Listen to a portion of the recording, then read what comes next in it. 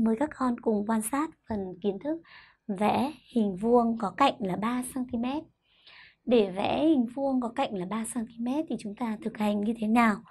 Bây giờ chúng mình có thể vẽ như sau. Đầu tiên, chúng ta phải vẽ đoạn thẳng DC dài 3 cm. Cô vẽ đoạn thẳng DC dài 3 cm. Cô dùng thước từ điểm 0 cho đến điểm số 3 là 3 cm. Cô đã hoàn thành được đoạn DC. Đoạn DC dài 3 cm rồi. Bây giờ cô sẽ làm tiếp như thế nào nữa? Bây giờ cô sẽ vẽ đường thẳng vuông góc với DC tại điểm D. Cô vẽ lên. Vẽ đường thẳng vuông góc với điểm C. Cô cũng vẽ lên. Và cái đoạn thẳng này cũng đều dài là 3 cm. Cụ thể là DA 3 cm và CB cũng 3 cm. Các con nhìn cô hướng dẫn vẽ. Đo góc vuông để chúng ta lấy góc vuông.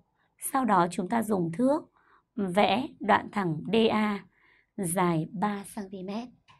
Sau đó sang bên này, chúng ta vẽ một đường thẳng song song và bắt đầu từ điểm C lại vẽ một đường thẳng song song với DA bắt đầu từ điểm C và cũng dài 3 cm.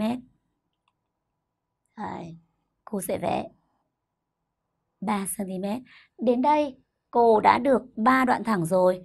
Bây giờ cô chỉ việc nối AB là cô đã có hình vuông ABCD.